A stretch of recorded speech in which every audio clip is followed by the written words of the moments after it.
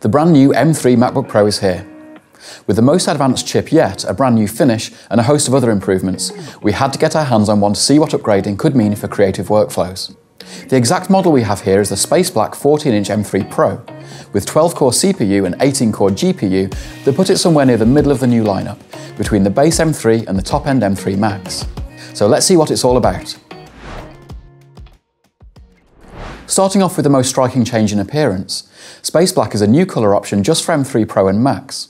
It's more of a very dark grey than black, but it looks great, and I imagine it will be very popular, particularly with those like graphic designers who want to present a cutting edge image in client meetings. To keep it looking good, the anodized aluminium casing is specially designed to resist fingerprints.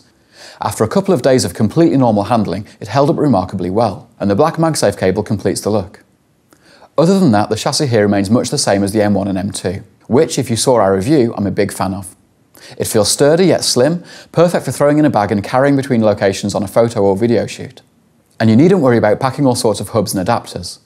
With all the same ports as the M2, this design feels tailor-made for creative work and helps keep your work area clutter-free.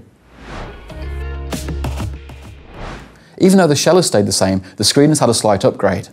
It still provides the extreme dynamic range contrast ratio for those working with HDR photos and video, but SDR content can now be viewed 20% brighter, which will be great for those needing a clear view of tone and colour for grading content on the move, outdoors, or in a bright office like ours. Both also still get the 120Hz ProMotion refresh rate for super smooth interfaces and animations. So the deciding factors between the 14 and 16 inch screen size are really just portability against real estate for more intricate interfaces like motion design or 3D modelling. And that's if you aren't connected to an external display, of which the M3 Pro supports too.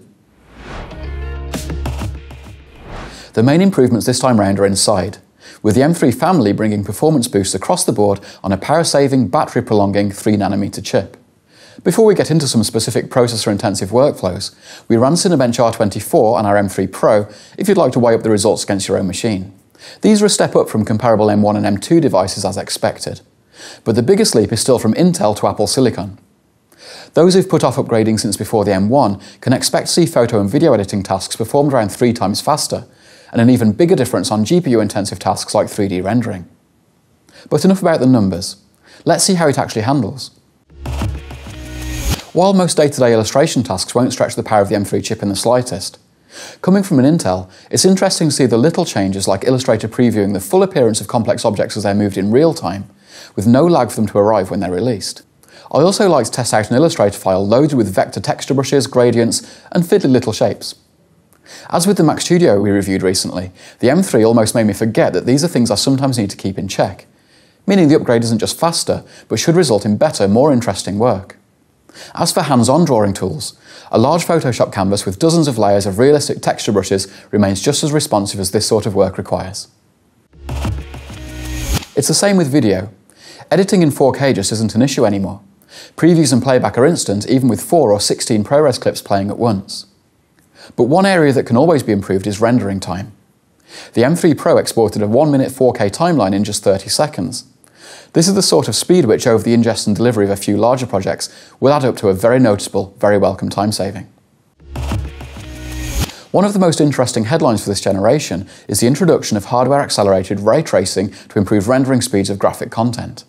So I've been excited to open up my After Effects test project, which is full of effects that tend to slow a project down, like 3D cameras and lights, blurs, glows, grains, fractal noise, particle world, and high-res raster textures. On the M3 Pro, the playhead scrolls about and the preview keeps up very easily, meaning there's actually headroom for including even more advanced features and techniques. And again, an export time of 7 minutes 30 seconds is game-changing for a project that's taken many times longer in the past. Because every bit of processor power matters here, motion graphics feels like an area where the new technology built into the M3 comes into its own, no matter what you're upgrading from. Much like with our Mac Studio review, it felt like I needed to branch out of my comfort zone into 3D to push the limits of the processor here. The difference to older models is immediately clear when handling more complex scenes.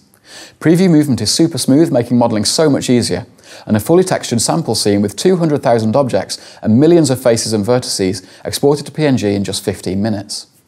With 3D being so demanding on the GPU, this is another field where upgrading even from a recent MacBook Pro could make a big difference and it's worth remembering that the specs of the M3 Max are even more impressive than the Pro.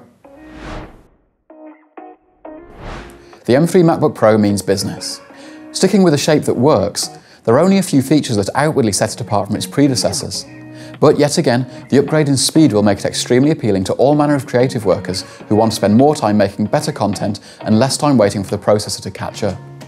Whether an M3 MacBook Pro is right for you might come down to what you're upgrading from. If you're using an older machine or you have an increasingly demanding workflow that regularly feels like it could use a boost, then the M3 Pro or even M3 Max might have arrived just in time. Check out our website for all the options. And if you do decide to upgrade, we offer a trade-in service to make the switchover process as secure, cost-effective and eco-friendly as possible. So whichever new MacBook Pro you're interested in, let us know and we'll be happy to help.